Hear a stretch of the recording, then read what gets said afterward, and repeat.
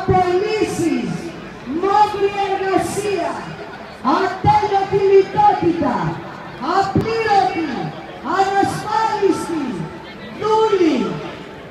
Για όλα αυτά που ζήσαμε τα πέντε χρόνια, όχι μόνο δεν ξεχνάμε, αλλά τους απατάμε. Ψηφίσαμε